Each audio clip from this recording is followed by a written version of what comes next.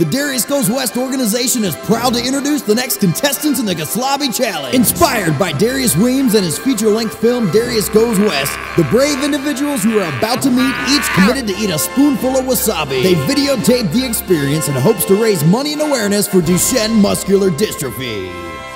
This is Clarke Central High School, and we're about to do the Goslabi Challenge. Dante, you want some milk? I'm gonna need a little more. Y'all two doing it together? Yeah. Okay. Some milk, Dante? I'm gonna need a little more milk than you. I'm gonna eat both. So we finna eat this on to, to Goslabi. the slabby for my Goslabi for Darius. for Derek go with. There go West. Yes. Okay, All y'all right. ready? Five, four, three, two, one.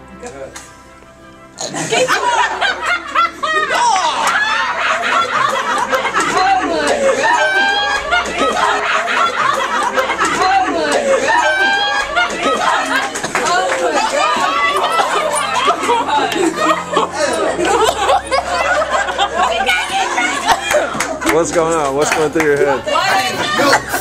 yeah, go grab some. Milk, milk. Go grab some. Go grab want, I want some milk.